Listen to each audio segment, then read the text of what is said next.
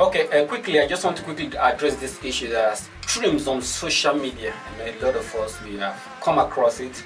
And um, I wake up every morning and what I see is still the same story. And before I go to bed, what I, uh, if I log in on social media, it's still the same story, the story of rape, comma. So a lot of us, um, a lot of pastors nowadays have been accused. Came up from different angle, accused pastor raped or pastor raped me or pastor raped that and pastor raped this.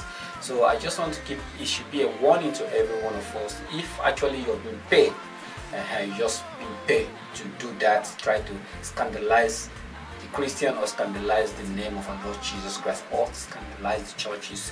So I just want to be very, very careful. Actually, I've gone through this particular story that's really attract my attention to come up on social media to make my own uh, observation concerning everything that I've heard and some of people uh, opinion, some people uh, comment over this issue that uh, our general pastor, of course, that is Pastor Fatoyinbo, uh, a lady came up, uh, Busola, that this man raped her when she was a teenager. Then, so uh, the story is just a kind of complicated, which we try to. I just do my own uh, primary uh, investigation to know how this uh, is it true or is it is it a fact or just that it's a scandal. So I found out that everything she said, the lady in question, she said uh, it's just scandal. Everything is just like if it happened, you understand, you should you should know the right channel to go to. If things like that happen, you don't I believe you're a Christian also, definitely a Christian. You study the Bible very well and you understand the, the, the foundation, the major aspects of Bible. If things like that happen as a Christian, who do you supposed to meet first? That is my question for you.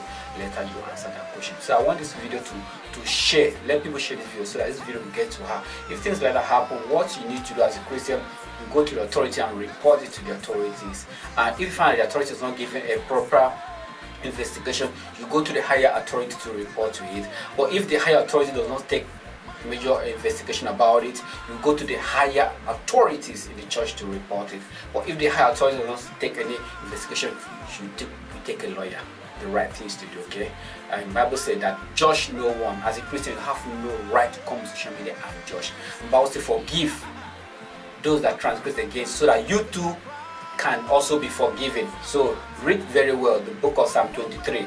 Okay, if you don't forgive, if it happen, you don't forgive, you come to social media and make public to be your judge over this case. Number one, you have wrong. After 19 years, now you've grown up and you become somebody famous, popular celebrities.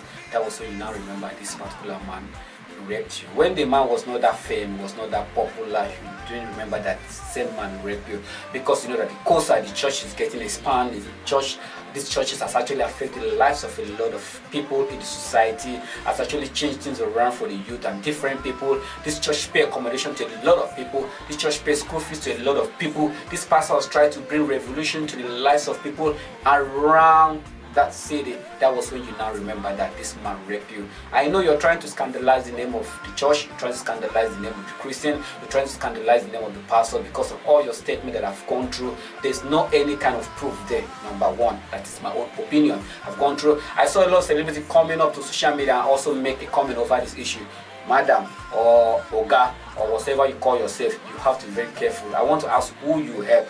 How many people have you have you affected anyone's life? Is it because it's a kind of emotional things? A lot of women has been raped through all this aspect, and none of them have that boldness to talk. Why you don't have boldness to talk? So, my sister, I want to tell you, you have to be very, very careful. You don't play with who God has anointed. Forget about maybe I know a lot of pastors commit such offense, but I'm not here to judge anybody. As a Christian, I have not permitted to judge. That is your own life. But you coming up to social media now, you're bringing judgment to social media to come and judge for you. And for those celebrities that come up with your different version, it happened this way, it happened that way, it happened that way. Were you there? If it happened to you, why did you talk? If it happened to you, why didn't you talk if you're bold enough to say If anything happened to you, immediately tell people. Not that after some years, this woman got married, that was when you now remember because of the emotional pain. You remember that a, a man of God raped you. I'm going to stop this trash. Understand? Eh? When are we going to stop it? That was what happened to Pastor Playman.